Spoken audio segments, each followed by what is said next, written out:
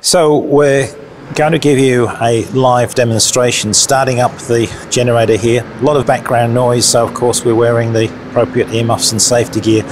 Dave is turning on the custom built load bank where we can actually control exactly how much load we put on the generator for each test that we do. And then moving over to me, I'm individually adding load now. This was our commercial load bank, digital readouts, so we can accurately look at how much load we're putting on all the way from 1 kilovolt to 110 kilovolts. Back over here as we move over we can see the hydrogen injection test cylinder and this is our important piece of equipment. This is our flow meter. It accurately shows how much fuel we're using and then over to our gas analyzers and computers where we can record each test that we do. So we can see it live on the screen up here.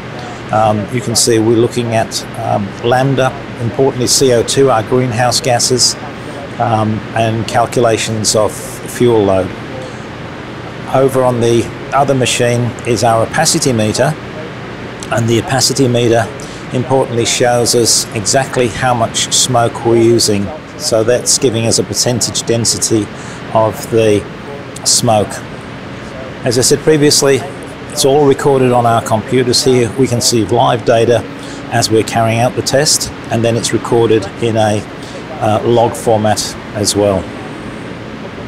At the end of the test, we can actually see once we stop the test to 0.1 of a litre how much fuel has actually been used and that gives us very accurate and repeatable results.